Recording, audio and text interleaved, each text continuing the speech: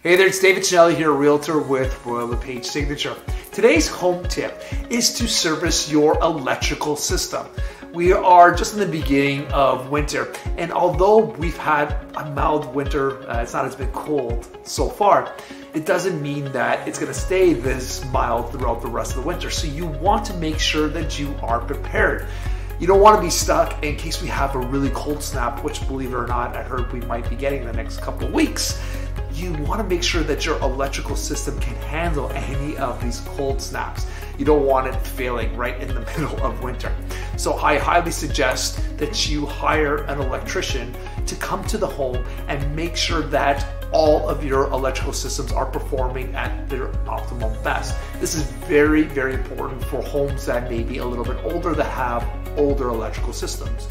When the professional comes over, they're gonna check your panel, make sure that there's no sparking, or uh, also make sure that if there is any insulation that's not really affecting the, the wires, there's no cause of fires that's happening. And you should also ask them to check any outlets or anything, any kind of wires that are plugged into the system. Again, this is to make sure that in case we have that crazy cold snaps we've seen before in these Canadian winters, that your family will stay nice and warm throughout the whole winter.